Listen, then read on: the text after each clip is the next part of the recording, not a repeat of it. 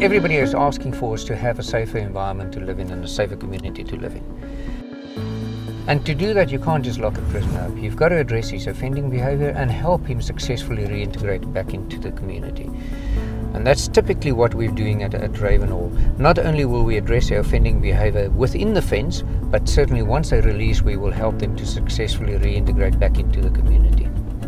For Ravenhall, it was very clear to us from day one that we require the input from the programming side of it, from the operational side of it, from the healthcare requirements as well as the design built so that we've got an environment that's conducive in delivering exactly that what's required. We would arguably state that our partners individually and collectively are the experts and the specialists in the field.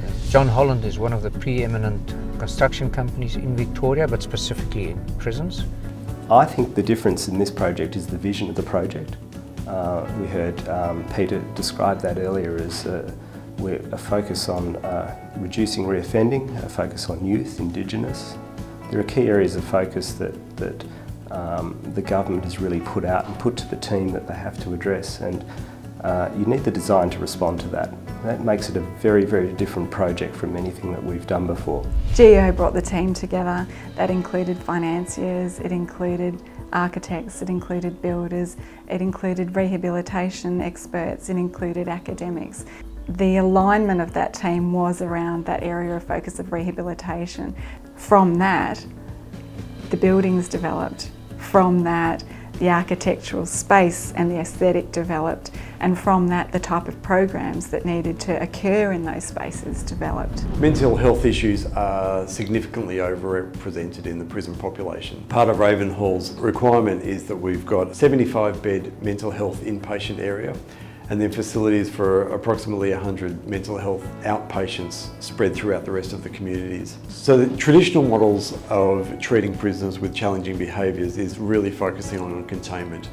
What Ravenhall is doing differently in the closed supervision unit is marrying those with the same high levels of treatment for optimum prisoner rehabilitation. Historically the lock and key model hasn't worked and we know that there's an evidence base to demonstrate that that's ineffective and so GEO have used that science in developing its programs for Ravenhall. Post-release, GEO have a model which includes a continuum of care so the remit of responsibility for the welfare of these individuals doesn't finish at the prison gate. GEO's alliance partners for Ravenhall are The Gathering Place, Melbourne City Mission, Kangan TAFE and the YMCA.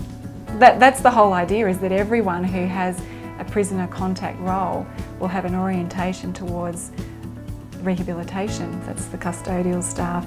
As I said, it's the canteen lady, it's the office administration staff who are making appointments with offenders. It's everyone in the prison has responsibility for the rehabilitation post-release prospects of the men. Ravenhall Prison uh, is an exciting opportunity. It's going to bring economic benefits to Brimbank and the Western Melbourne.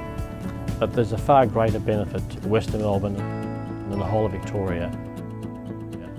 And that's the type of approach to prison operation that Ravenhall will, will bring to us.